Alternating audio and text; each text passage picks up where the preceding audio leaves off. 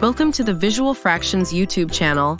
In this tutorial, we'll guide you through the process of converting 150 centimeters to feet. Are you curious about how to convert 150 centimeters to feet? It's a simple and useful skill to master. Whether you're tackling a project that demands precise length measurements or just keen on understanding different measurement units, this video is your step-by-step guide.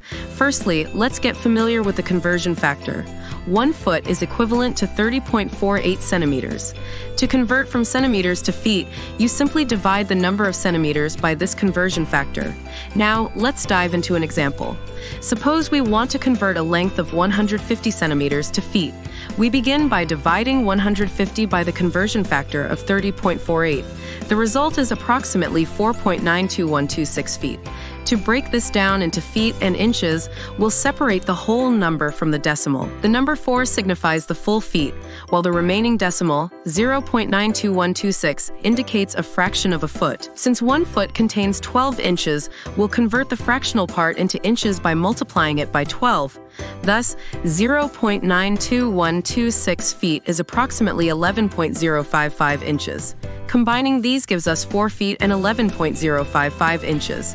Mastering the conversion between centimeters and feet can greatly enhance your ability to handle various length measurements.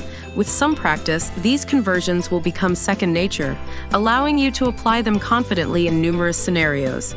If you found this tutorial beneficial, please hit the like button and consider subscribing to our channel for more enlightening content. Thanks for watching, and we look forward to seeing you in the next video.